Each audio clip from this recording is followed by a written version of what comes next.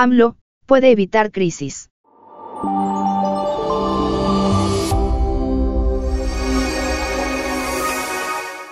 Me complace saludarte a través de Si Te Vende, somos un medio disruptivo, independiente, alternativo e inclusivo. Queremos brindarte información única y fomentar tu participación sin restricciones en los comentarios. Te animamos a suscribirte, activar notificaciones, dar me gusta y compartir el video con al menos 10 personas para apoyarnos.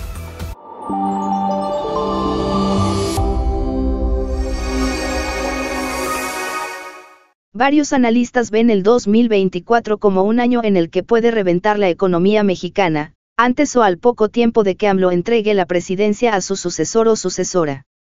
De seguir el gobierno de la 4T aumentando en 2024 sus niveles de gasto gubernamental, el déficit presupuestal, la deuda externa y creciendo los precios por arriba que en EU, nuestro principal socio comercial, el gobierno mexicano puede perder el control de la economía y del tipo de cambio. Hay salidas si el presidente López Obrador reconoce que debe cambiar el camino, si no, llevará la economía a una barranca, de la cual costará mucho trabajo sacarla. Hay soluciones, sintetizamos algunas de ellas. 1. Bajar la tasa de impuestos a niveles de EU, nuestro principal socio comercial, donde la tasa máxima es del 36.6%, mientras en México, del 55.1%. 2. Reducir la violencia. En México hubo 25 homicidios por cada 100.000 habitantes, en EU, 6.8. El porcentaje de homicidios en México fue casi el triple que en EU.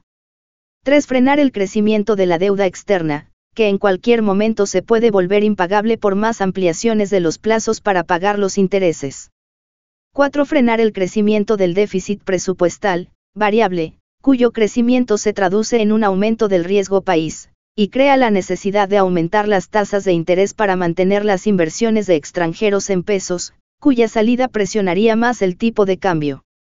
5. Terminar con los monopolios de la extracción del petróleo y la generación de electricidad, cuyas pérdidas son insostenibles a mediano y largo plazos. En 2022 las pérdidas de Pemex fueron mayores a los presupuestos juntos de la Secretaría de la Defensa Nacional y la Secretaría de Marina, y más altas que el presupuesto de la Secretaría de Salud. Hay que convertir a Pemex y la CFE en empresas verdaderamente públicas, que coticen en la Bolsa de Valores, para lo cual tienen que transparentar sus ingresos y gastos. Hasta ahora son empresas privadas del presidente en turno. Si no hay una mayor transparencia en los gastos de las empresas estatales, fuentes de derroches y corrupción, difícilmente se evitará una fuerte crisis económica en el 2024.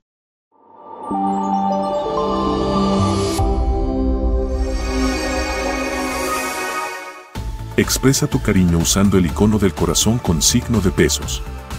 Estamos abiertos a tus sugerencias y deseos para futuros temas. Tu opinión es fundamental. Agradecemos tu continuo apoyo.